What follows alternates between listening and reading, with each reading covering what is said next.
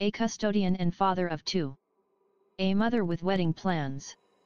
A happy-go-lucky guy. A 16-year-old helping his family. That echoes how friends and family described some of the six people killed at a Walmart in Chesapeake, Virginia, when a manager opened fire with a handgun right before an employee meeting. Five adults have been identified, while authorities have not released the name of the sixth person killed, a 16-year-old boy.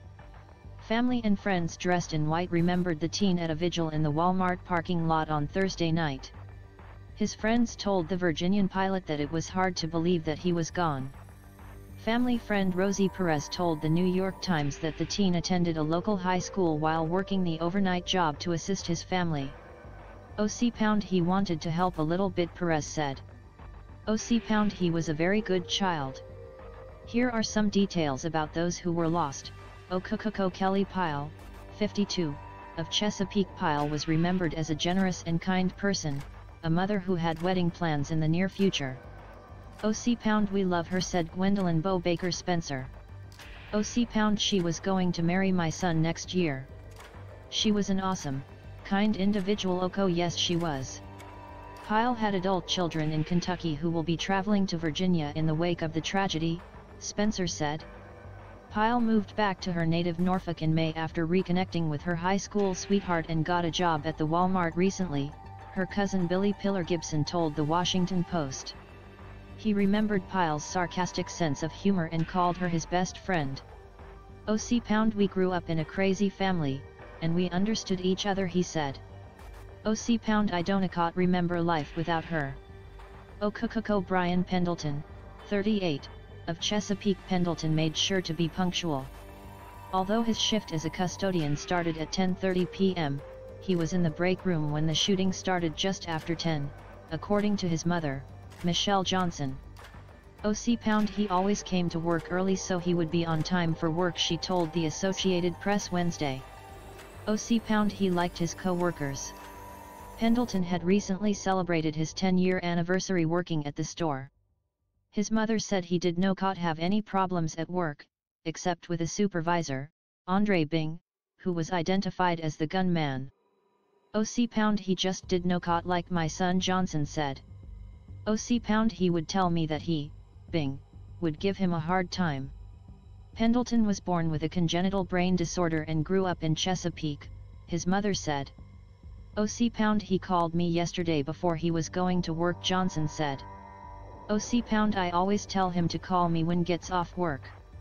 As she was getting ready for bed, Johnson got a call from a family friend telling her there was a shooting at the Walmart. OC Pound Brian was a happy-go-lucky guy. Brian loved family. Brian loved friends. He loved to tell jokes his mother said. OC Pound Weckery going to miss him. Okokoko Lorenzo Gamble, 43, of Chesapeake Gamble was a custodian on the overnight shift and had worked at Walmart for 15 years, the Washington Post reported. His parents Linda and Alonzo Gamble said he loved spending time with his two sons. OC Pound he just kept to himself and did his job Linda Gamble said. OC Pound he was the quiet one of the family. His mother said Gamble enjoyed going to his one nine-year-old Daco's football games and cheering for the Washington Commanders NFL team. She posted on Facebook that Shioko's having trouble saying goodbye. Oh, OC Pound missing my baby right now, life is not same without my son she wrote. Oh, Okokoko Randy Blevins, 70, of Chesapeake Blevins was a Norfolk Admirals hockey fan and enjoyed photography and collecting coins, daughter Cassandra Yates told the New York Times. Oh, OC Pound he never missed a single day of work she said. OC Pound he loved his family and supported everyone. Blevins was a longtime member of the Storiocos team that set prices and arranged merchandise. Former co-worker Chandra Reese, who said she worked at the store from around 2015 to 2018, spoke fondly of Blevins as OC Pound Mr. Randy. She said the overnight crew at the store was OC Pound A family and that employees relied on one another. Okoko Tyneka Johnson, 22, of Portsmouth Theodore Johnson, 41, told the New York Times that his cousin lived with her mother. OC Pound she was young and wanted to make her own money he said.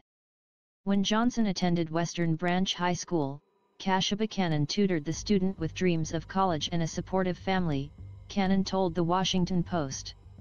OC Pound education was in the forefront. Her family did whatever they had to do to make sure she got assistance Cannon said.